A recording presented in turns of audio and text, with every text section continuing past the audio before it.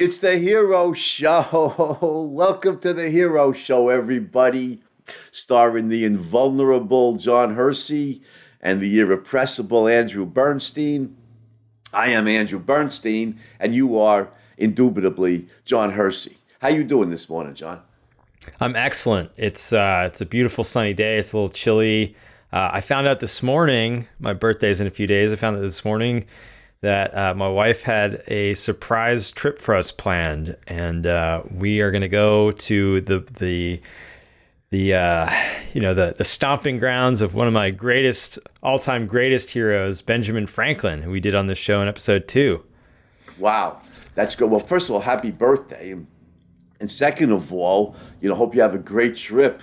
You going to Philadelphia? Um, yes. Going to Philly. Remember W.C. Fields? So what was it? He wanted. What did he want on his tombstone? Something. Something. Uh, all things considered, I'd rather be in Philadelphia. it might That's even, funny. Might even be on his tombstone.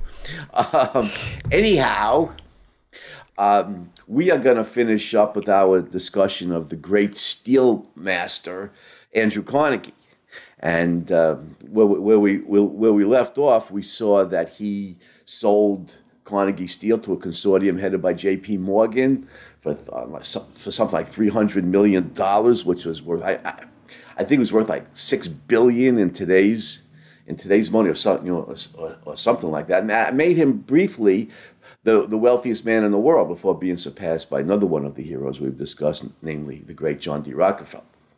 So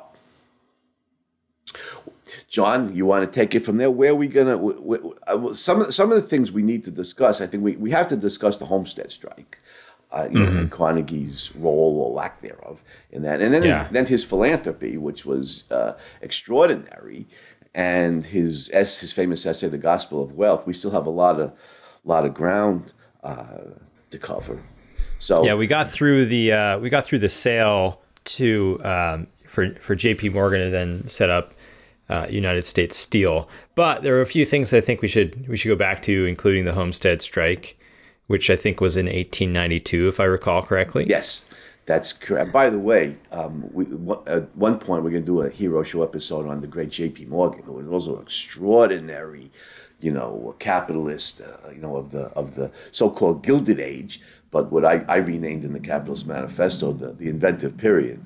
Uh, so we'll, we'll aptly so. Yeah, thank you. We'll do Morgan at some point in the future. Homestead strike is um, perhaps the main reason why Carnegie is vilified by leftist intellectuals and historians. I mean, even if there was no Homestead strike, he'd be vilified just for just for being mm. a you know a, a millionaire, a, a, gazil, you right. a, gazil, a, gazillionaire. But the Homestead strike was a, was a bloody uh, strike.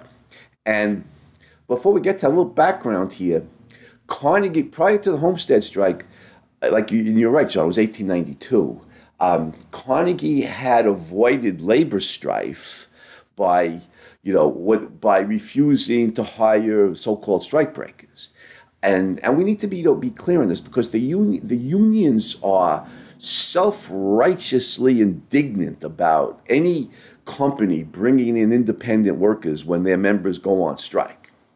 You know, the, the unions have the have the job have the idea, or at least at least most of them, especially the, the ones who have clamored for, for government coercion to, to you know to close the shop so that so that the the uh, owners can negotiate only with union members and not with independent workers. Um, so the unions have the idea that that the jobs belong to us, even if we decide we're not going to work the jobs. They're our jobs, and so when um, companies have, have, have hired independent workers during a, during a strike, uh, the unions have often unleashed just heinous violence against, you know, against the so-called strikebreakers, against anyone willing to, to cross uh, a, a, picket line, you know. And um, it's really, it's, it's just, it's, it's, it's ugly and it's morally wrong. I mean, I want, I want to be very clear that um, owners have have the moral right to hire anybody they want to work on their plant. It's their property. It's their company. Uh, they want to hire non-union workers. It's their right to do so. If they want to hire non-union workers when the union's on strike, it's their right to do so. The jobs don't belong to the to the unions. I mean, the union membership. That's that's a moral abomination, and that has led. You know, if you, I'm no expert, Jon, on the history of, of U.S. labor strife, but I know a little bit about it. I know the kind of lethal violence. I mean, where they murder strikebreakers, so-called strikebreakers, who are really they're, they're to be objective about it. They're independent workers. They're non-union workers hired by the company, but the strikebreakers, scabs, you know, terms, and they've murdered them. And there's there's been historically there's been tremendous violence. And by the way, it's interesting when the companies operate a struck plant with with executives, with company executives, there's usually no violence against them. The, the very little violence, there's been some, but very little violence directed against, you know, against company executives. It's, it's when they hire non-union workers, independent workers, that's when the, the violence is unleashed, and it's often been lethal violence. It's just hideous. And you know, you know the great Milton Friedman, Nobel laureate in in uh, economics, has point has pointed out that the government will very often look the other way uh, against murderous violence that's unleashed during strikes, which they, they the governments will often tolerate that, which they won't tolerate under other, nor should they, uh, under other circumstances. So the unions often have literally gotten away with murder. Now Carnegie knew. Yeah, they, I'm sorry. Go ahead, Jon. I was just going to add here that obviously they, they shouldn't look the other way in any circumstance, and and especially not in such an immoral circumstance in, in which the strikers are claiming a right to jobs and uh, Carnegie successfully headed off many strikes. Um, he had, he had, you know, he, he ran companies for decades. So is and given the period that he's running companies in, it's sort of a given that he's going to run into problems with labor relations at some point. And he did multiple times, but he was always very successful in um, in pacifying those that worked for him and appealing to their reason and getting them to to adopt measures that made more sense. You know, um, in uh, a case that that came up after the Homestead strike, one of the things that that lasted for decades after, I think even up until Carnegie's death, was he instituted, I think, one of the first sliding pay scale mm-hmm. systems. Right. And so this worked that pay was not it was not just based on okay well the, the labor union demands this therefore they get this per hour for these jobs. It was, um, well, when the company does really, really well, you get more and you'll never get less than this certain minimum amount, but your pay can slide between uh, that minimum and much higher depending on how well the company is doing. And you know, he pointed this that this turns everybody into a, a, cooperative effort because it's uh, it's in everyone's interests for the company to do well and when the company does well, everybody profits. And when the company doesn't do well, instead of people losing their jobs, most people are, are more interested in having job security than they are always having the same exact, uh, you know, take home pay every week. And so the uh, the workers readily agreed to this. And interesting in this scenario, when when this happened, uh, there was a threat of a strike. Uh, in fact, there was a strike that lasted for a couple weeks, and the uh, and Carnegie said, you know, when when you guys decide to come back to work, you'll come back to work on my terms. I'm not going to replace you in the meantime, but the factory will stand unused until you all come back. And when they decided to come back to the table, the uh, the the union uh, union leads they they said, well, just do us this favor, uh, allow the uh, head of the unions to sign on behalf of the workers. And Carnegie said, Yes, sure, that's reasonable, but just do me this favor in return. Also, let the workers read and sign the agreement on their own.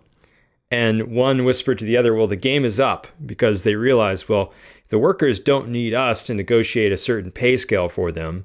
They don't need us at all. There's no sense in paying their dues. and so this you know, right. Carnegie was very sly with this, and and they really had no means of backing out at that point. He'd given them uh, their uh, the, the, favor that they asked, and so they gave him the favor that he asked in return. But the union pretty quickly disbanded because there was nothing that the union leaders could get that the uh, workers couldn't get for themselves.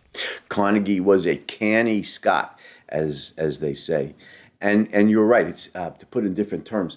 He he introduced uh, a way. There was no wage ceiling, but there was a wage floor, right? Mm-hmm. And, and that's a good that's a good deal because during business slumps, which happen in recessions and stuff, you know, uh, the, like you said, the workers wouldn't lose their jobs. The wages would just go down until the until the company started to prosper again, and, and then the wages could go up. There's no ceiling. There's no no ceiling on how high the wages could go. And um, Carnegie had avoided strikes prior to 1892 Homestead. I mean, he had avoided labor violence prior to the 1892 Homestead strike because he refused to operate struck plants. You know, and uh, he he uh, he just waited the union out. He he's, he he didn't bring in independent workers. I don't think he even operated it with you know with with executives. He didn't operate at all. He, he and uh, his reasoning was the men have to eat, so at some point they'll have to work and he just waited. He waited the unions out and avoided violence that way. He also thought Carnegie also thought and said publicly. it reminds me of uh, Hank Rearden in uh, in Ayn Rand's Atlas Shrugged. He said, "I have the best labor force available. I am not going to replace these guys. I can't get I can't get steel workers better than than the guys that or you know even as good as the guys I already have. So I'll just wait wait out the, the strike until the, until the guys are ready to they need to make money. They need to you know feed their families until they're ready to, to go back to work. So you know Carnegie was uh, was a very very uh, smart businessman, and uh, and he was and he was so charming. You know everybody thought you know he was just he was just you know had this a sunny disposition is, is worth more than a fortune, right? Isn't it something like that? It was a famous quote from Carnegie. He had it, and you know, a lot of people. He's a great tour, and you know, a lot, a lot of people just loved him, you know, at a at a personal personal level, and um, so Homestead Homestead is an anomaly. So this is in the summer of 1892. Carnegie in Scotland, you know, for, to avoid the, the heat and humidity of the northeast of the United States during the summer. And, and just to, to harken back to where that started from was when he was felled by heat prostration and, and overwork in his 20s when he was um, uh, he was a, a, a, staunch abolitionist, and he was uh, uh, operate. He was he was making sure the telegraph lines were in, in Virginia were in, in service for the for the Union Army, right? And he was uh, he's building the, the, you know when when telegraph lines are knocked down, poles are knocked down during the war. He's having them you know rebuilt. He collapsed. And after that, he was very, very susceptible to, to heat and humidity. I can I can uh, relate to that. I never suffered from heat prostration, but I hate the hot, humid weather. I just hate it. I'd love to go to Scotland every summer. Uh, so when, when Carnegie um, had a fortune, you know, he would he would do that. And he, but let's also we need to point out even before we get to Frick and the and the Homestead strike, Carnegie was a genius at delegating responsibility. He was an absolute genius in personnel. Nobody was better than Carnegie than recruiting talent, recognizing talent, finding the right place for this guy at the right time, you know, cultivating talent and promotion from within the ranks. And Carnegie was an absolute genius. Uh, there's people like Henry Clay Frick and Charles Schwab, and you know, and there's a there's a bunch of others. So Frick was running the Carnegie Steel, and Frick was a tough guy. I, I mean, Frick was a was a hard rock. And by the way, the the Frick Museum in New York City, which is you know my favorite art museum, is is it, it's not anybody who's a, if you're an art lover in in New York, you got to make it to the Frick to me, Jon, the Met is just unmanageable. I just, it's like it's just over, it's over, it's overwhelming. Although I like the American, you know, wing, and that, that's where uh, Leutze's is, uh, you know, Washington Crossing the Delaware is. But the Frick is small and it's got a bunch of masterpieces, and you could do it in one day. And uh, you know, and Frick was a connoisseur of, you know, of great art. But um, he was a, he was a hard rock, Jon. I mean, he was a tough nut. There was there's that part of Frick's biography where he was assaulted by some, you know, some communist or an- anarchist and shot him and stabbed him, and you know, and uh, you know, Frick was seriously wounded. And in less than a week, or in, in most a week, he was back to work. You know, he survived. He was back to work. You know, he was a tough guy. I think didn't Frick come up out of the coal mines? You know, in the in Pennsylvania, I think. I, I'm not sure Not sure. I don't know Frick's biography, but it wouldn't surprise me. Like you said, uh, uh, Carnegie was just excellent at spotting talent. You know what some people today call flame spotting. Um, he he could, and you know, Rand talks about Ayn Rand talks about in her essay "Capitalism: The Un, Un, Unknown Ideal." In the 19th century, political economy as a social science started to blossom and come into its own, and political economists attempted to uh, attempted to do economics, attempted to understand economics without understanding man. The the key, uh, the, the, really the, the central focus of any humanities should be, of course, man. but Carnegie, writing in this time as uh, political economy starts to become a science, understands fully that man is is the central resource, and he writes in his, as we'll get to, his Gospel of Wealth that uh, it's it's the man of talent that is the generator of wealth, and and uh, and so you've got to you have to find those really really bright people and make them your partners.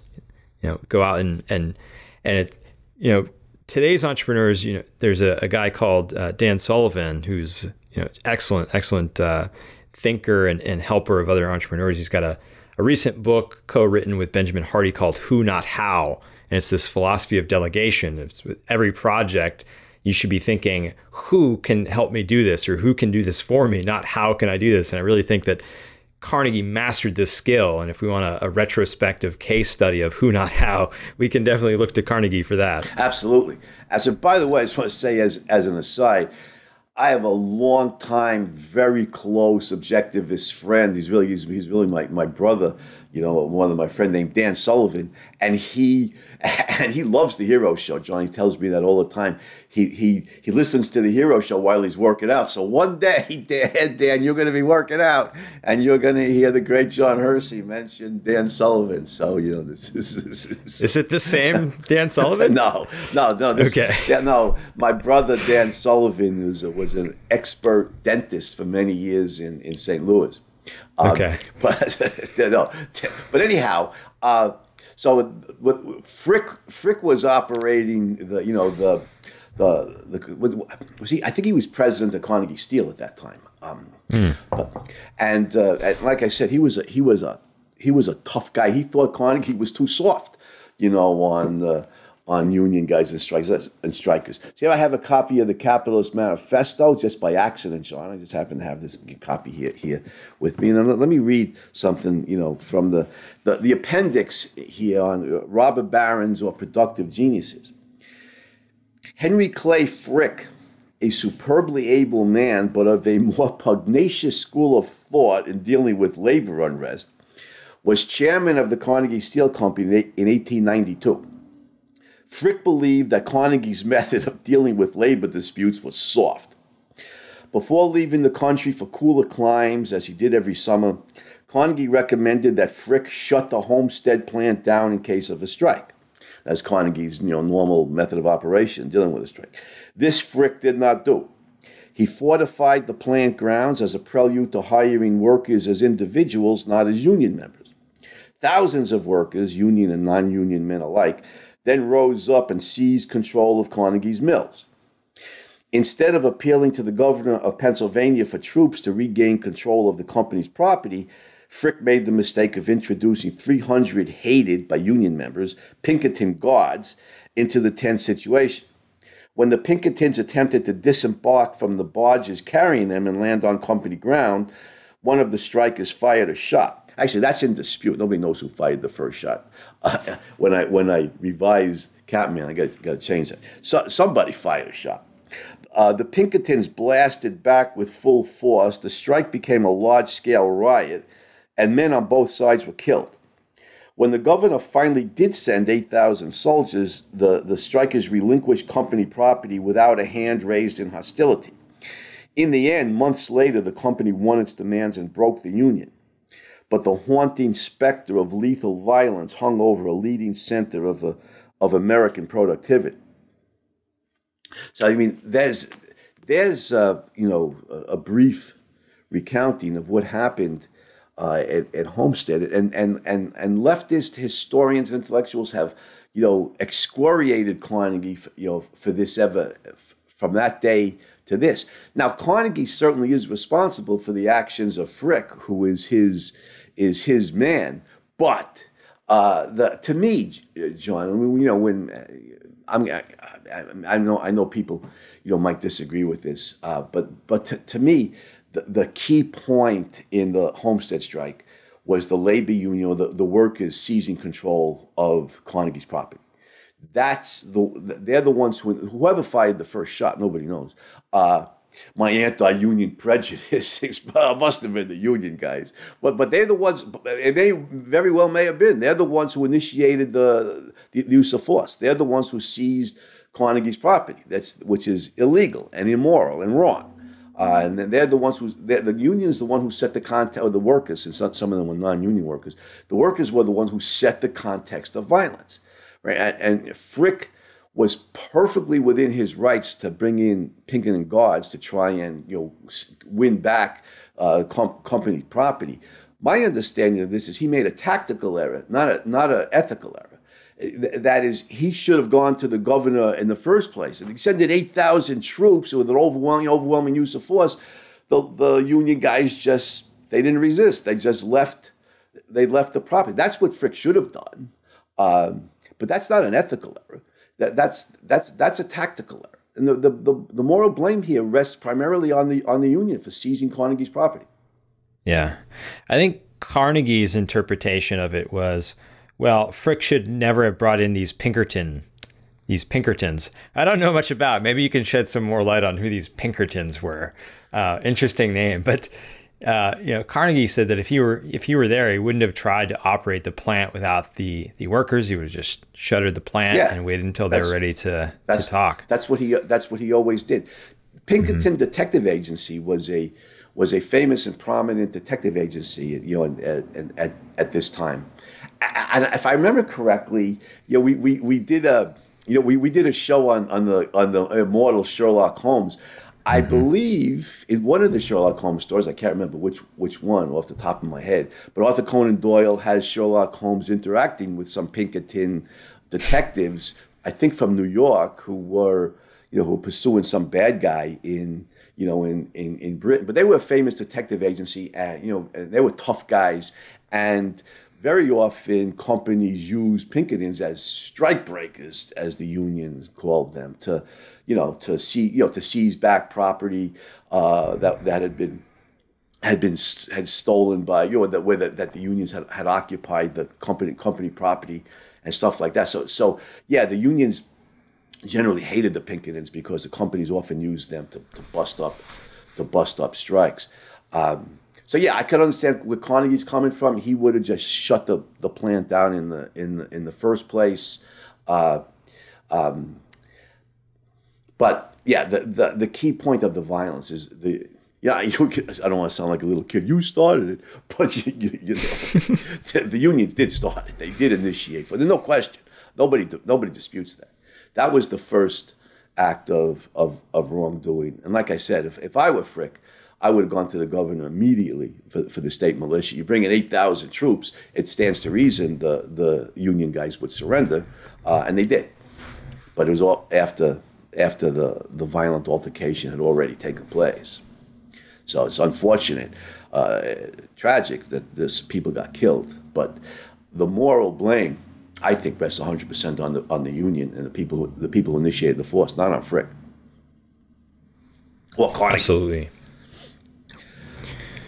so that was that was you know a, um, a real uh, that's that that's a you know a, a tragic instance of, of labor violence, uh, but the unions have done terrible things you know historically to independent workers and you know that that like like like I said before that the that the companies will hire during uh, during strikes. So this is just one more example of you know of, of union violence.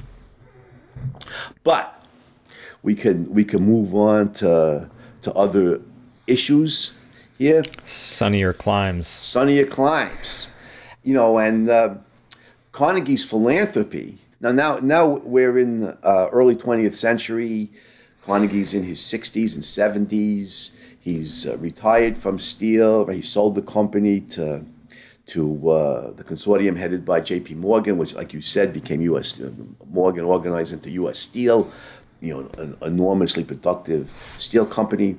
And Carnegie devoted much of the rest of his life to an, an extensive, and even enormous amount of philanthropy, didn't he? Yeah, he gave away almost all of his wealth before dying. Um, in 1889, a few years before he, uh, what, three years before he sold the company, he published The Gospel of Wealth, or what became known as The Gospel of Wealth. It was originally just published as Wealth in the National Review, I believe. Um, it might not have been the National Review. I'm, I'm having well, trouble. Well, National Review was a, a, conservative publication founded by William Buckley in the 1950s. I don't, I don't remember the, the I don't know. North might, American Review, maybe. Yeah. Sorry, well, I, well, I, don't even recall the. Well, there might have been a National Review back then. I don't. I don't. I don't know. But yeah, but you're right. The original title in its American publication was just Wealth. It was when it was published in Britain that it became acquired its famous name of the Gospel of Wealth. I think. I, think. But anyway, um, so you you were talking about the essay. Yeah, I think you know this is. Uh, we cannot discuss Carnegie both his his uh, virtues and his vices without discussing the gospel of wealth because I think both are on display in this essay. I agree. Yeah. So the gospel of wealth. I mean, he he begins by making his attempt at a refutation. I think of this communitarian socialist ideal of uh, expropriating wealth and redistributing it to people who, who need it. And he brings this in explicitly. He talks about communism and socialism and how uh, they don't work and how this uh, ideal of individualism, the idea that each person should, I love how he uses uses actually Washington's George Washington's favorite quote from the Bible that each man will sit under his own fig tree and, and none shall scare him, none shall make him afraid.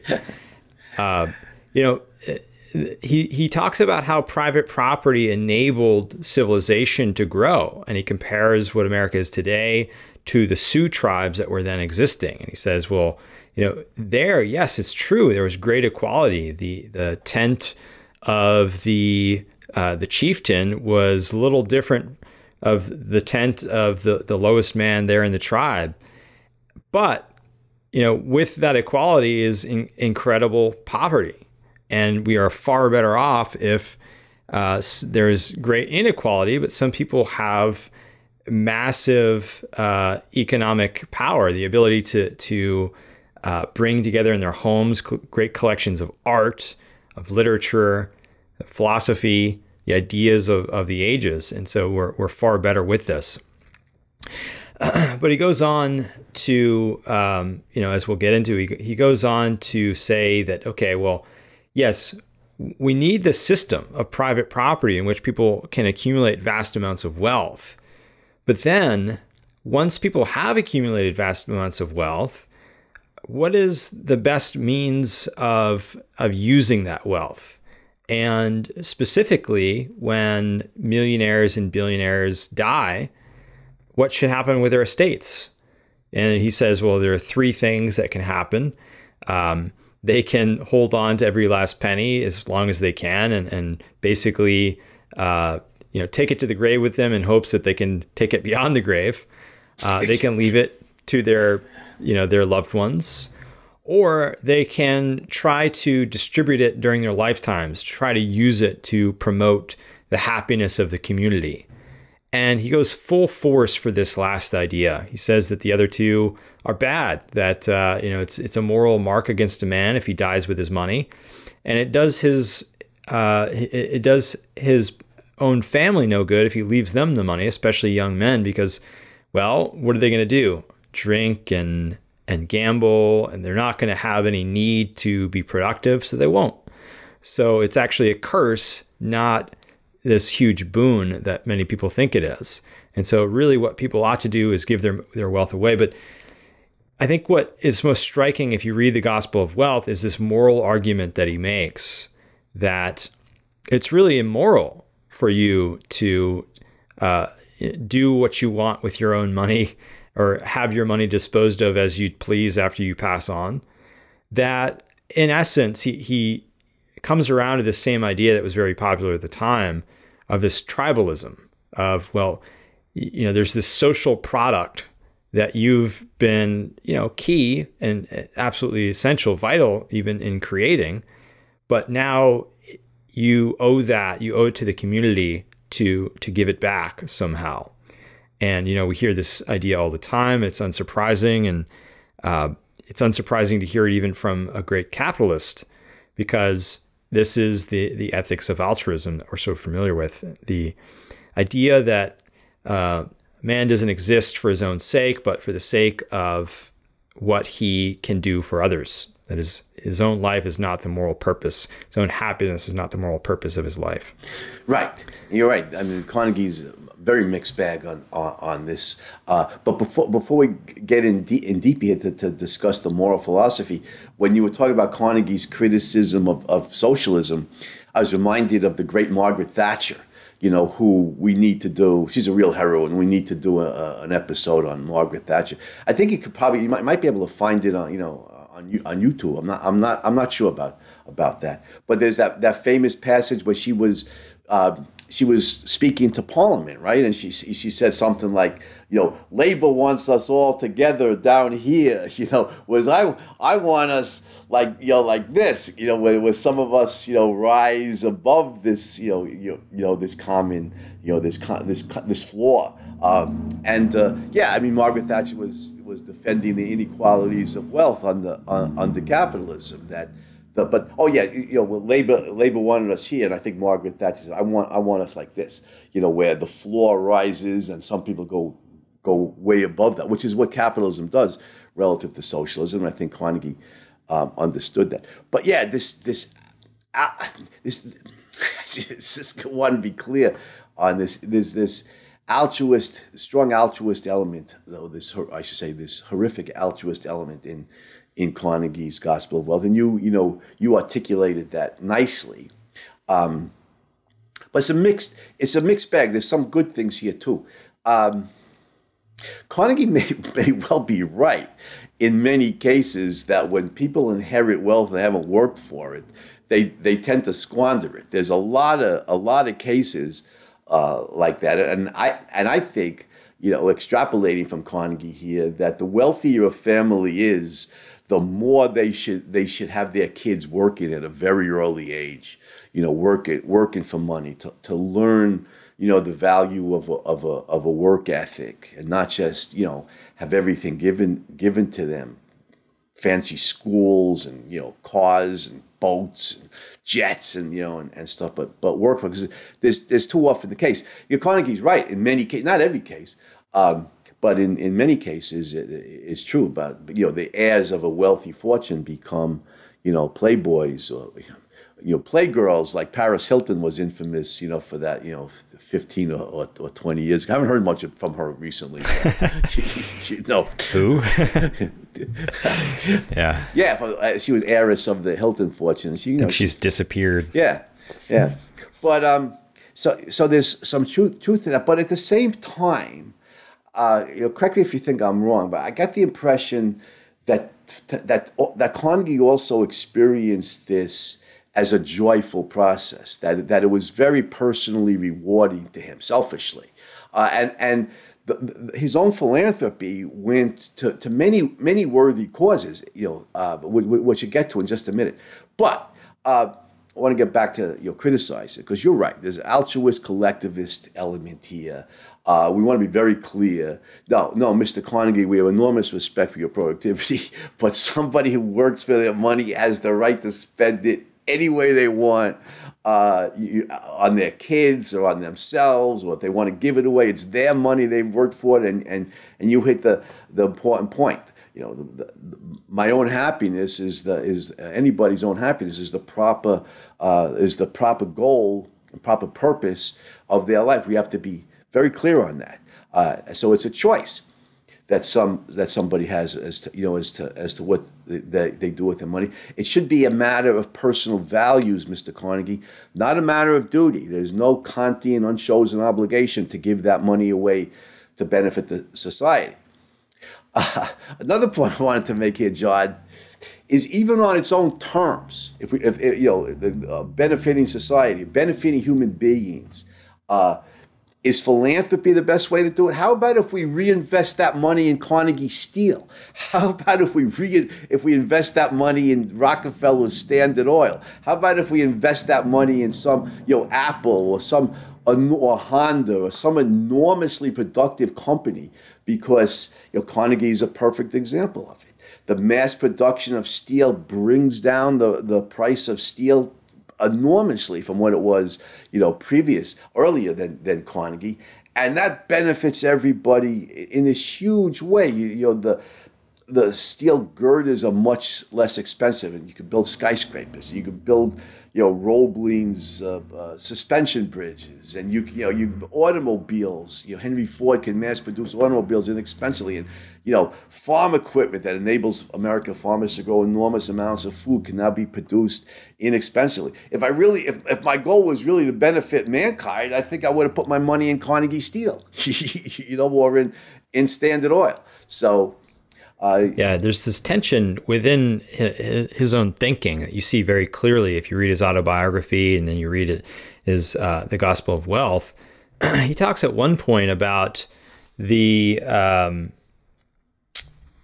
the um, sorry, I just we just had somebody else try to join our call. oh, really? so, oh, yeah. I don't know why. Well, no, the, but, well, uh, you know, the babes love us, man. They want to. Yeah. it's, so, it's, hard to be rock stars and sex symbols. You know, it's not that easy.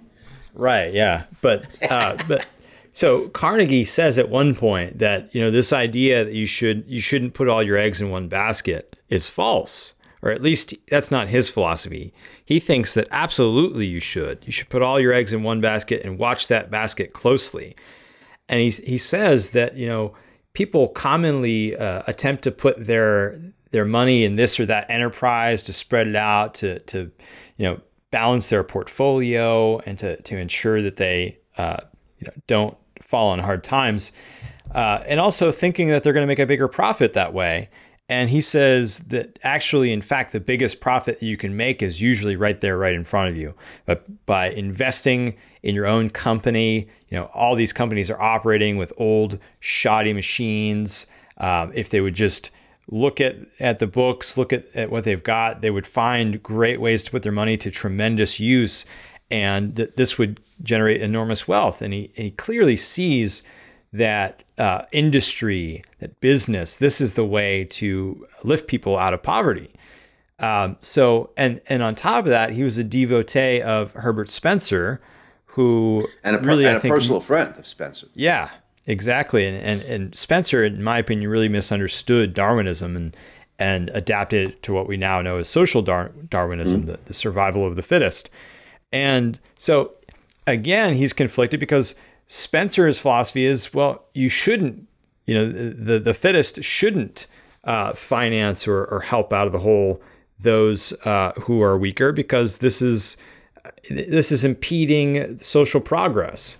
So he's conflicted here, and I think you know he has the right idea. I mean, um, if you have a tremendous amount of money and it does you great, it, it does you, uh, it, it, brings you great joy to uh, put that money where you think it's going to be useful for other people, then do it. And I think one of the best examples of this, one we definitely have to talk to talk about on the on the Hero Show, is his Hero Fund, the yeah, Carnegie yeah. Hero Fund. Yeah, we should get some of that. By the way, he's always got, always got, got my my hand up.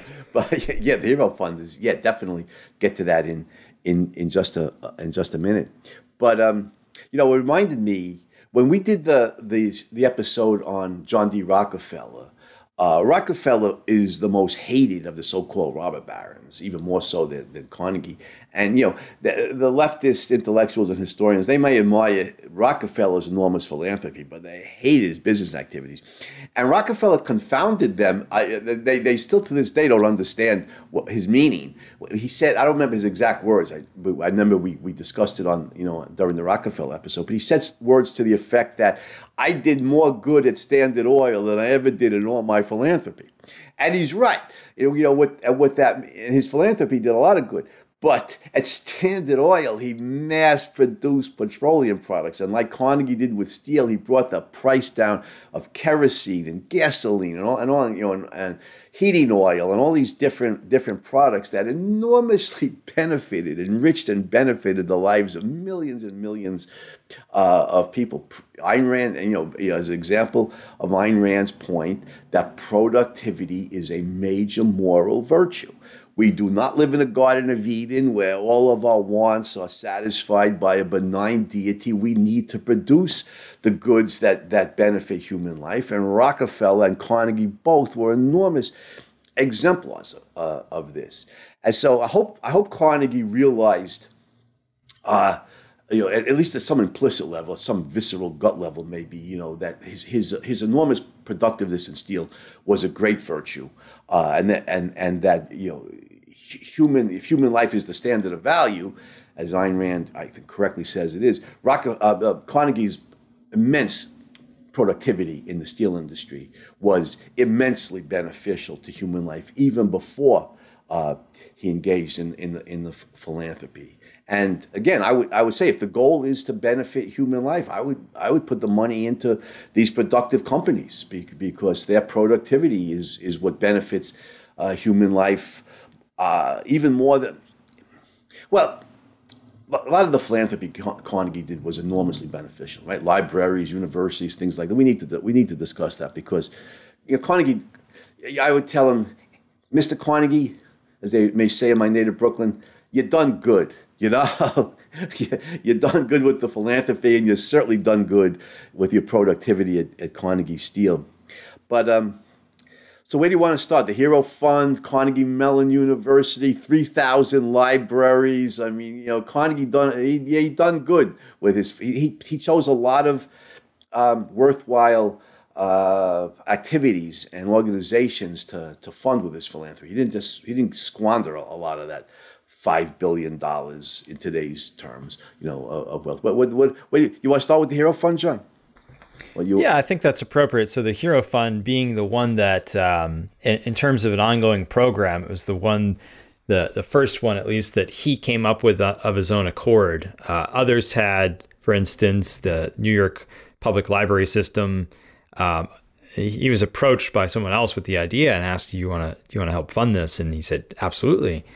Uh, but the Hero Fund was really his own idea. He had read about, um, if I if I recall correctly he read about um, a retired uh, coal superintendent, coal mine superintendent, who um, he he heard about a coal fire, a mine fire, and uh, or a collapse rather, and went to go try to help the men out, and ended up dying himself. I mean, this is beyond the the call of duty of course this man is retired. He's at home. He hears about this collapse and he thinks i have the expertise to help out in this situation. And ultimately he perishes. And carnegie reaches out to his his young wife and their son and ensures that they have enough that that uh, his son will be educated and that she has enough to support herself. Um, and from there grows this idea of, of the hero fund and the idea is well uh, we often think of heroes as these exemplars uh, in the battles, in the battles for freedom, you know, the, the, wars, both the American Revolution and the Civil War. We think of heroes often as as people who win actual battles. But he says, well, there are there, there's this whole other class of civilian heroes that is largely unsung, and these people uh, are sometimes incapacitated by the things that they do. Sometimes they die and, and leave behind loved ones that uh, you know, thereafter don't have the earning power to really support themselves the way they otherwise would.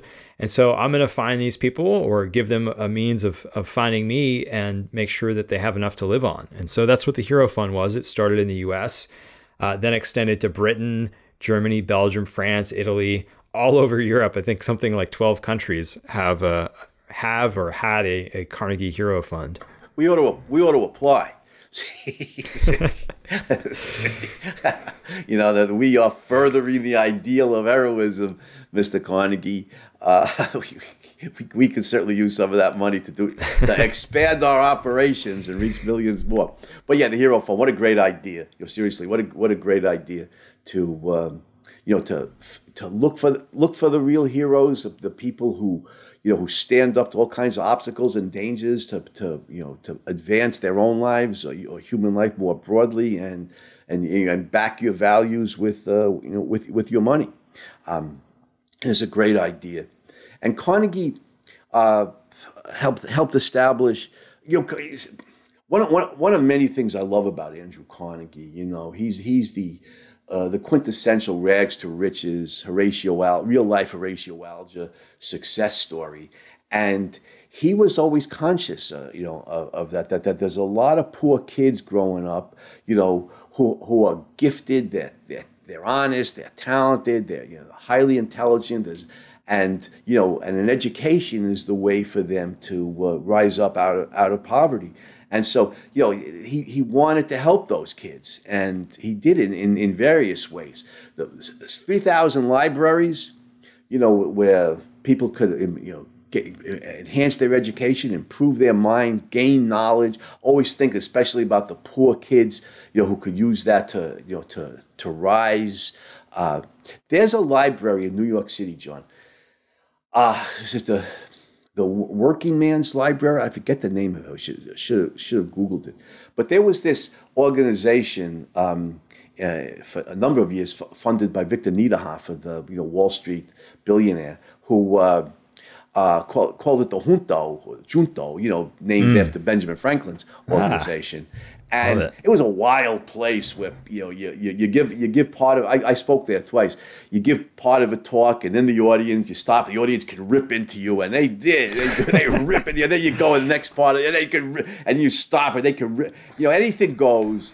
Uh, people yell and scream at you and, and and believe me they they do. I, I, I know people who wouldn't even go there anymore. It was so out of control uh, and just a na- sounds like a rock concert. Yeah, it was a nasty, it was, it was a nasty place. But you know, Victor Niederhoffer was a really was a really good guy, and he supported capitalism, and he was a big Ayn Rand. Uh, he is, I think he's still alive. He's a big Ayn Rand guy, and uh, it was in the.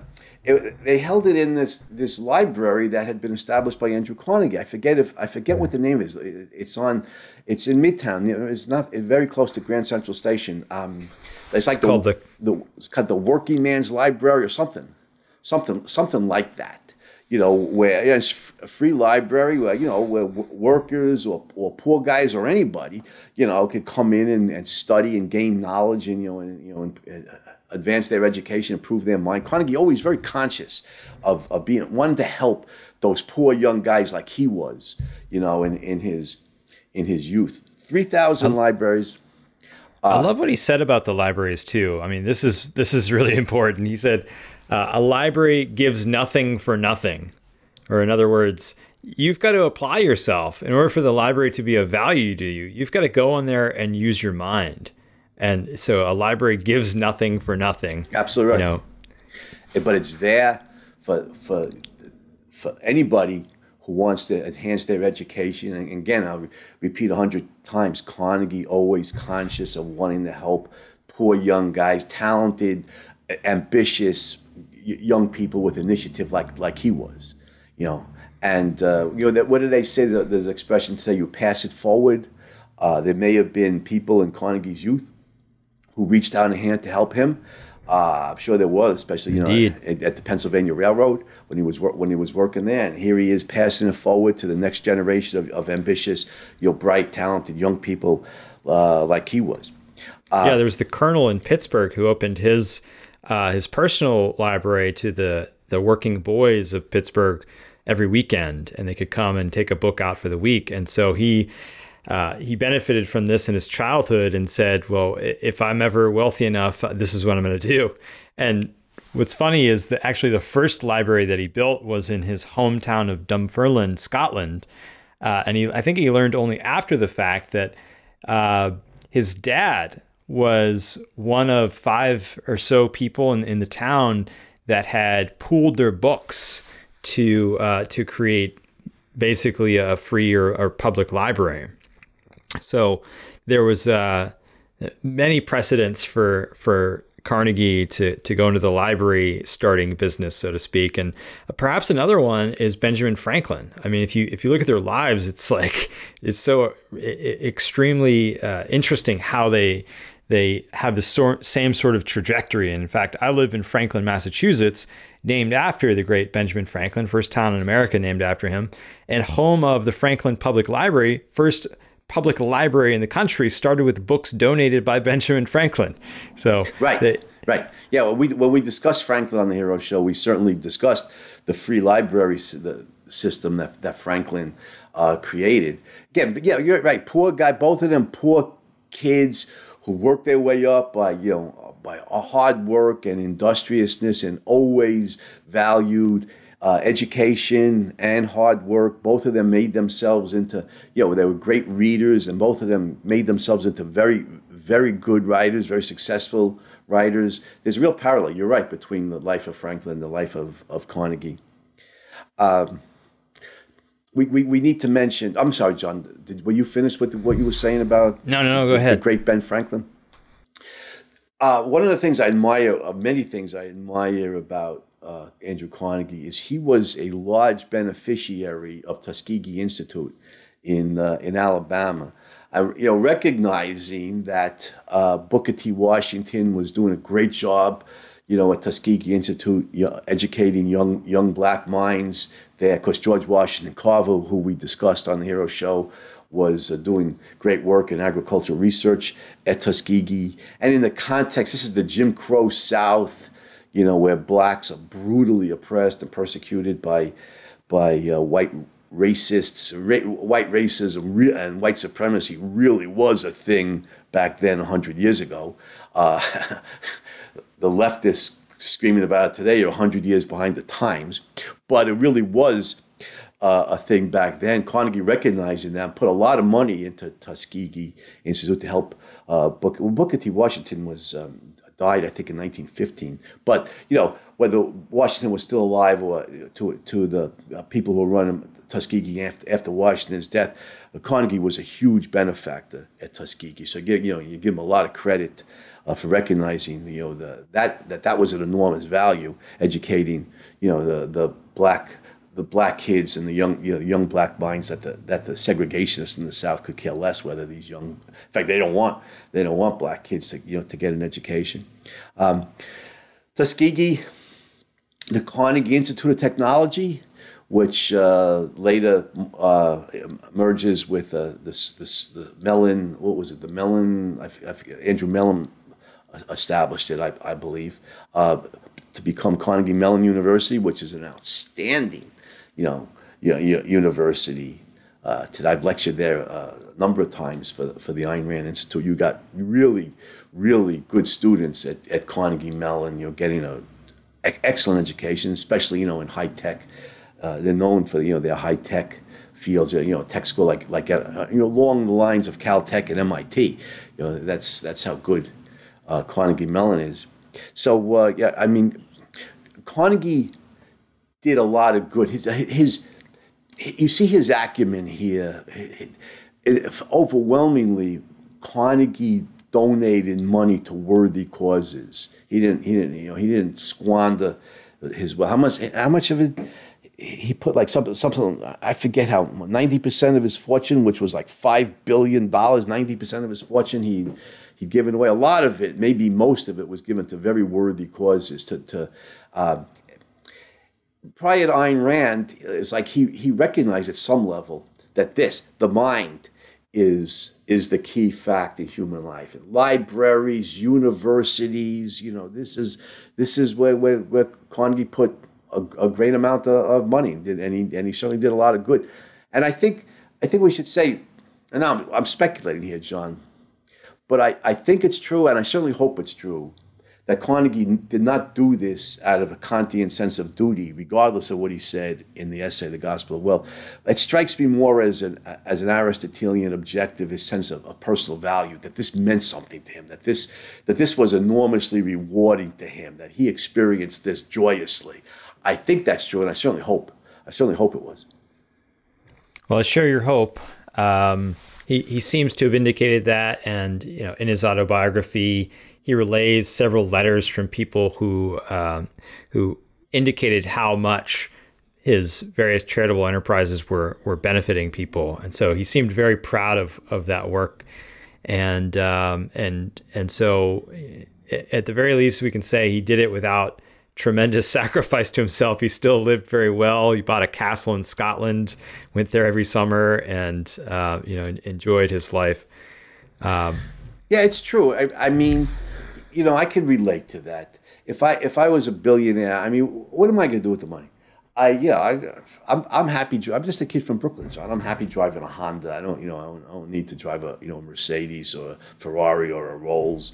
I'm I'm happy renting. I have a nice apartment with everything I need. I, I, you know I don't need a big mansion and everything. I can I can relate to that. I have enough money to live uh, comfortably in the lifestyle that I prefer, be able to, you know, put my daughter through, you know, college and, you know, and what if I could do with the money? I mean, I mean, actually, what I would do, like I said, is, is I would, I would invest it in the most productive companies. One, you know, I'd make money on the dividends, and two, those productive companies use the money to do R and D, you know, to make advances, to hire more workers, to to, to produce more output, uh, bring the prices down, and you know, and and it's a win-win. Everybody benefits.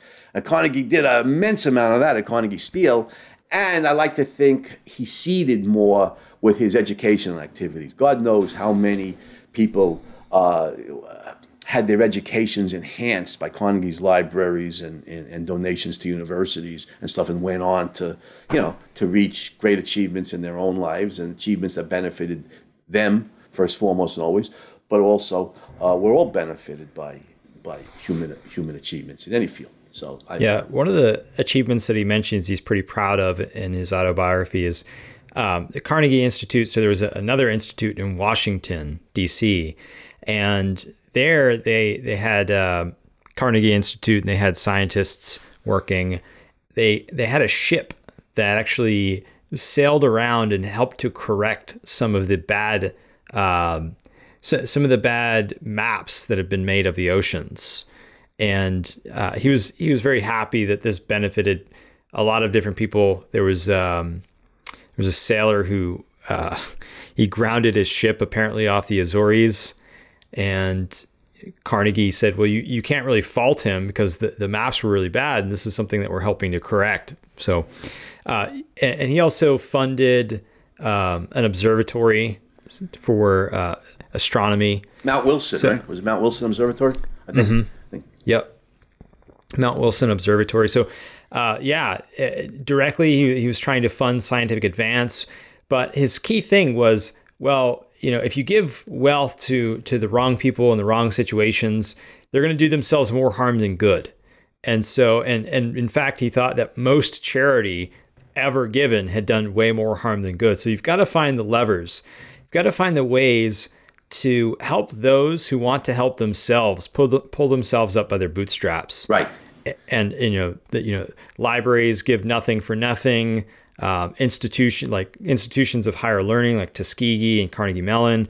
These are places where you, you've got to apply yourself if you're going to benefit from them. And that's what he was always looking for in, in his philanthropy. And there's real wisdom there. I mean, the modern American welfare state shows how, you know, g- giving money away to people who don't have to work to do anything for it is, is does vastly more harm than good. Yeah, abs- absolutely right. absolutely right. The scholarships, when you find poor kids who are bright and motivated and you could provide scholarships to you know to, to colleges and everything these are the kids who are going to take advantage of it. These are the kids who, who are going to work hard and apply themselves. Like like you said there's, there's a lot of wisdom um, in this. And i want to you know at, at, least one more of, of his uh, ventures that, that, I think we, we should mention, even though it, it was futile in his lifetime, but it shows a very benign personality here. Carnegie's commitment to, to world peace. Uh, you know, early in the 20th century, you could see the, the, the forces that lead to World War One, the bloodbath of World War One, is just in turmoil in on the European continent, and you know Europe is heading towards a bloodbath. And a lot of people could see that coming, including Carnegie, and, and, and he put a lot of time and effort into trying to avert war. I mean, Carnegie was enormously personable. He was a great raconteur. He was friend of presidents and premiers and kings and princes, and he tried, you know, to to use his influence to, you know, to, to bring peace in Europe. And he was friends with um, uh, Kaiser Wilhelm in Germany, and you know, and and and he he was, you know. The, put money into what the Peace Palace in the, is it is it in the Hague I think somewhere in the Netherlands and negotiating, you know, his retirement with European heads of state. And, and Carnegie said forthrightly, you know, that you know, even though he was friends with the Kaiser, he, he said the real the real impediment to peace in Europe are not the British, it's the Germans. you, you, know, I don't I don't want to sound like a racist here, but because you know German culture has been enormously uh, creative and productive in, in every field, but there has been a certain militaristic, you know, tendency in. Uh, in, in German history, and and um, and Carnegie was was right about that. He, he put a lot of effort into trying to avert European war, but it was it was doomed to, to failure. But it it shows you know a very benign side of Carnegie's personality and the, the, the, his character, the desire to avert the blood the, the bloodbath that was coming. He said, if you want to be happy, set a goal that commands your thoughts, liberates your energy, and inspires your hopes.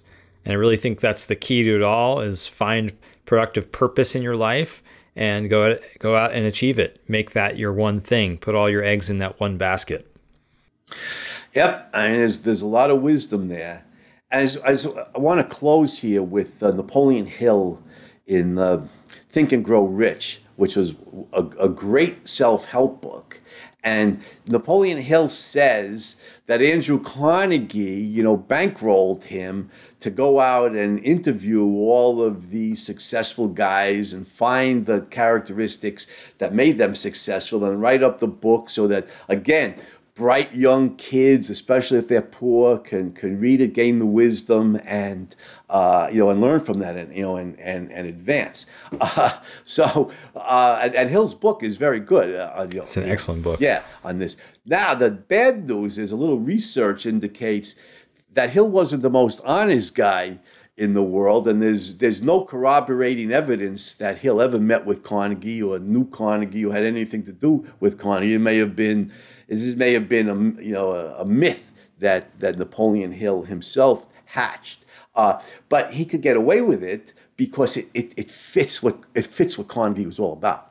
You know, you it fits the it fits the spirit of Carnegie. You to, to take these steps that could be enormously beneficial to poor, talented, ambitious young people who who, who have great ambitions to to rise uh, in life. So Hill may have been lying about that, but his book, I think, was helpful in this in the spirit of, of Andrew Carnegie.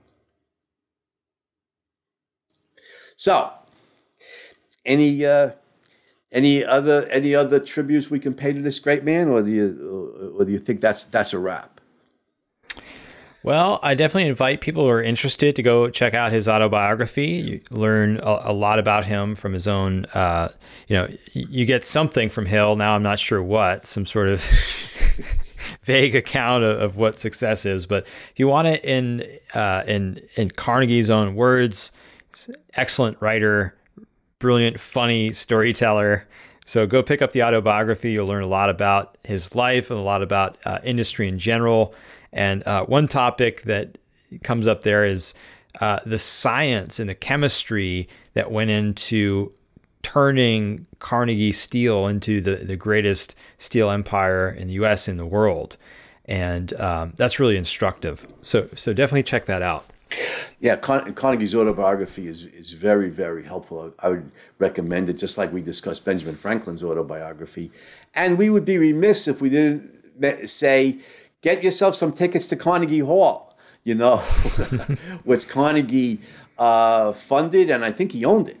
And, mm-hmm. you know, and Carnegie Hall has great acoustics and it's been a, a, center for you know for superb concerts for over a hundred years now. And there was that great joke when I was a kid. You know, uh, some some some kid on uh, on the streets of New York accosts some some older guy, and he says, "Sir, how do I get to Carnegie Hall?" And the guy says, "Practice, son, practice." you know? Words of wisdom. Yeah. I, I, mentioned a New York City landmark for decades was the Carnegie Deli on 7th Avenue, right? You know, just a few blocks south of Carnegie. Of my favorite deli with that sandwiches like this big. Unfortunately, they closed. They closed a few years ago, but for decades, that was. Uh, you know, New York City landmark. You see, see tourists from Oklahoma with their cameras taking pictures of the sandwich before they before uh. they before they dug in. that, I, right. I, don't think the Carnegie Deli was founded by Andrew Carnegie. You're making me hungry. Yeah, Let's wrap yeah, well, these things up so I can go make a sandwich. Well, it's lunchtime. it, it, was right down Seventh Avenue from Carnegie Hall. I guess that's where it got the got the name from. But anyhow, Carnegie Hall, one one of, again one of Carnegie's great contributions to hmm. uh, New York City and to you know cultural life generally. So. I, I think we salute you, Mr. Carnegie and Jon. I want to wish you have a more and everybody out there in Hero Land have a more heroic day, lead a more heroic life, everybody. And we will be back on the Hero Show next week with the immortal Michael Jordan. have a great day, everybody.